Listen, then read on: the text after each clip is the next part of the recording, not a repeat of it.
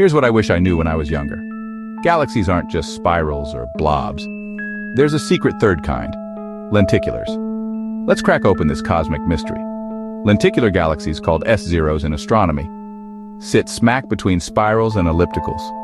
Picture a galaxy with a bright bulge and a flat disk, but none of those swirling arms. That's a lenticular. Why no arms? Because they've run out of gas, literally. Most of their star-forming fuel is gone, so all you see is a collection of old, red stars. How did they get this way? Some used to be spirals, stripped of gas by galaxy clusters or roughed up by cosmic neighbors. Others got blended in mergers, like a cosmic kitchen blender, leaving behind rings, bars, and mysterious shells.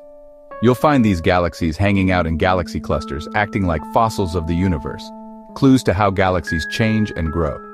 Famous lenticulars, Check out these two examples, NGC 3115, the Spindle Galaxy, and NGC 5866 with its striking dust lane.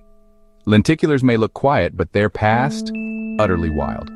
Stay curious and keep looking up.